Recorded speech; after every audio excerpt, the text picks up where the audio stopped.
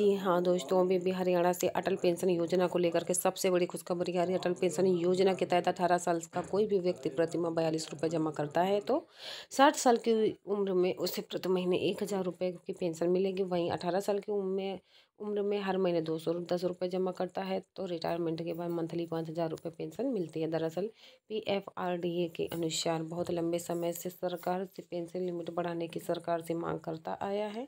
PFRDA के अटल pension योजना के तहत पेंशन लिमिट को पाँच हज़ार से बढ़ाकर सीधा दस हज़ार रुपये पेंशन लिमिट का प्रस्ताव दे चुका है। फ़िलहाल अटल पेंशन योजना के तहत सात तीन दशमलव साठ करोड़ रुपए से ज़्यादा लोग जुड़ चुके हैं, लेकिन पेंशन लिमिट बढ़ाई जाती है तो ये ज़्यादा लोग योजना से जुड़ सकते हैं।